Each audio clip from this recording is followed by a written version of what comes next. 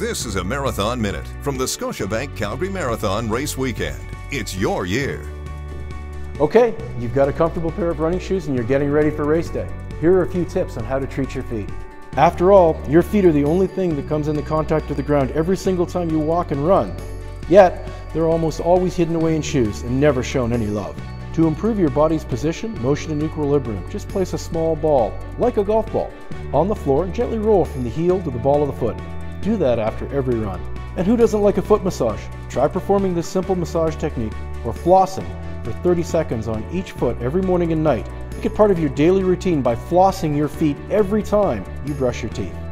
Look after your feet, and your feet will thank you. And your runs, no matter what the distance, will feel great. Make your race more meaningful. Sign up for the Scotiabank Charity Challenge. Visit calgarymarathon.com. The Scotiabank Calgary Marathon, Sunday, May 31st.